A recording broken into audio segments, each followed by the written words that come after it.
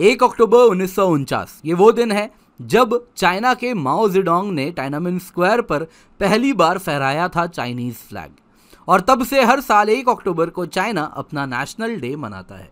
2022 में इसी दिन, यानी फ़र्स्ट ऑफ़ अक्टूबर 2022 को दिल्ली में चाइनीज़ एम्बेसी के बाहर तिब्बतन यूथ ने एक प्रोटेस्ट स्टेज किया।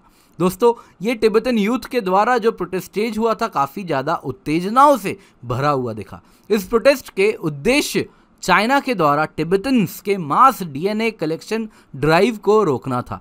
इसके अलावा प्रोटेस्टर्स ने तिब्बत के फ्रीडम की भी डिमांड की और फ्री तिब्बत के स्लोगन्स भी चिल्लाए। दोस्तों, ये स्लोगन्स कुछ इस प्रकार थे। What we want we want freedom stop human rights violation in Tibet free Tibet